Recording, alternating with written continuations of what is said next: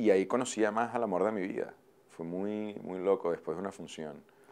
Ah, mira. Sí. Pero ella Sí, no yo me contó, ella no, ella no me ha contado eso. No, ¿no? ella no quiere contar eso. Ah, ella no quiere contar eso. contar eso. Pero a ver, a ver. Sí, yo estaba ahí un Ah, día. porque yo me sé que ella entró a Radio Caracas y se abrió un ascensor y te vio y se No, ella te- es- esa es la versión esa es la versión Hollywood, cliché, ¿sabes? Como que quieres vender el, Oh, el esa chick es la que le dijo el publicista que puede contar. Esa es un poco más como la... Sí, esa está redonda, esa no, está pero perfecta. cuéntame la de la escena 8, por favor. La de la escena 8, ella dice que no, pero yo creo que ahí empezó todo. Eh, Yo, esto, eso, fuertes declaraciones, porque entre la escena 8 y el momento pasaron... pasaron muchos, pas- pasamos pasaron muchos años, viajes. Pasaron años.